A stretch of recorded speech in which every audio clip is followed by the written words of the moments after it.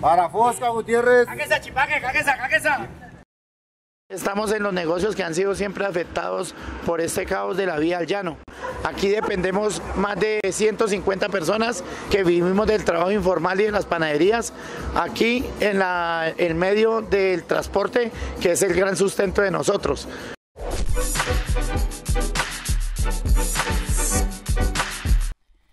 La principal vía de transporte entre los llanos orientales y la capital del país está bloqueada, como en otras ocasiones por derrumbes en los kilómetros 58, 64 y 68.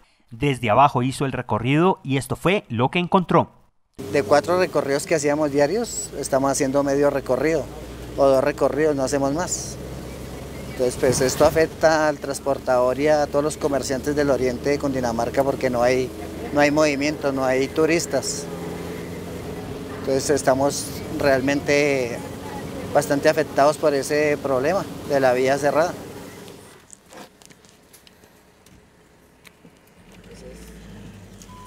que ni por más que usted diga que no, o sea, que Coviandes niegue que es por eso, si usted mueve la tierra por debajo tiene que lo de encima soltarse. Ah, ok. Si usted dinamita para sacarlo de por debajo, pues lo de encima tiene que irse soltando. Porque que, que imposible usted va a soltar, va a sacar una, una ficha debajo y la de encima va a quedar quieta. Se va a caer porque le van a, van a, van a quitar las bases.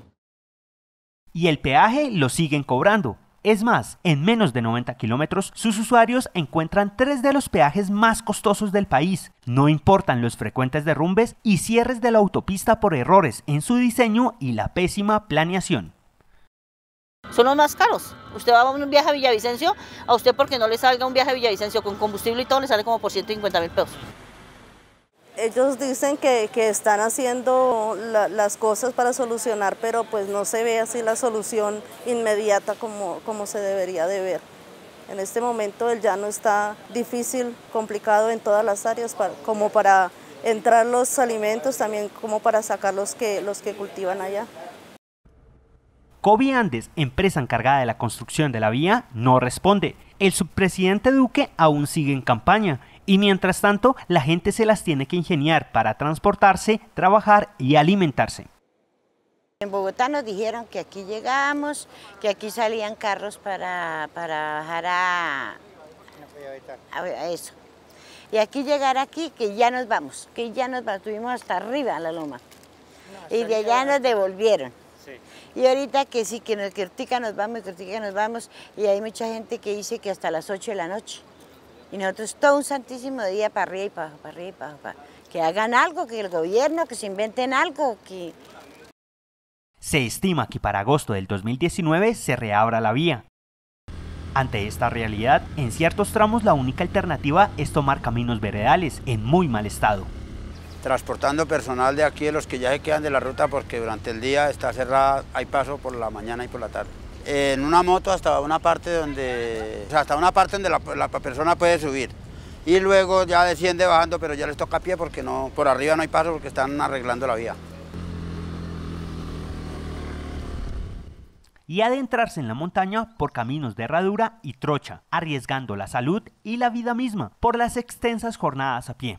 Los caminos disponibles tienen paso restringido, los abren únicamente de 6 a 8 de la mañana y de 6 a 8 de la noche, lo que implica esperar 8 horas o más para poder transitar.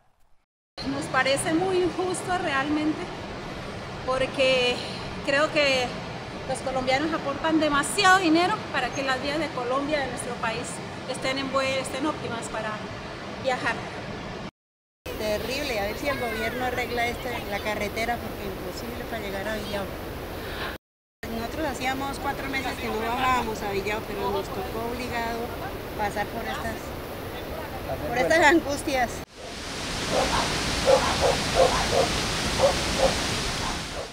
En lo incómodo son cuando uno lleva niños, por ejemplo, se cansan, ya llegando se cansan. Uno de pronto que viene por primera vez y que hace este recorrido, pues, que uno vive en la ciudad, es gratificante pronto estar con la conexión con el campo, pero ya la gente que le toca diariamente subir y bajar, me encontré varias personas y que les toca a diario dos o tres veces, imagínate. Es una cosa dura. Miles de comerciantes, habitantes, productores y turistas se encuentran afectados. El cierre de la vía en este momento nos está afectando gravemente, uno, a nuestro comercio, nos está afectando a nuestras familias, nos está afectando en la parte estudiantil, en la parte de la salud y muy duro en la parte económica. En la zona del comercio nos dedicamos a vender servicios de cafetería, restaurantes, la arepa boyacense, tintico, café de la región. Lo que sentimos nosotros como industria es que no hay transparencia en, en la información. No tenemos información y vemos que pues no hay tampoco un avance de trabajo significativo. Deberían haber puesto muchas más máquinas. Hay dos máquinas, hay una máquina de cada lado, una retro y un cargador de cada lado pueden poner tres o cuatro. Ahí caben dos, sobrado, dos retros. Y más volquetas y, o sea, meterle con ganas. Eh, a las 10 de la mañana cogí el bus ahí en Villavicencio, eh, un carrito, un carpati y llegamos a Pipiral. De Pipiral cogimos otro bus acá a Guayabetal, llegamos al mediodía y acá me encuentro con la sorpresa de que lo uno, no hay transporte, toca esperar hasta las 4 de la tarde que abran ruta la vía bien mala. Eh, no hay trabajo pues para el llano, por lo menos en Villado hay muy poco trabajo ahora debido a esa situación de las vías y, me parece terrible que pues el gobierno no se preocupe tanto como por eso y por otras cosas que no deberían preocuparse tanto si se preocupan.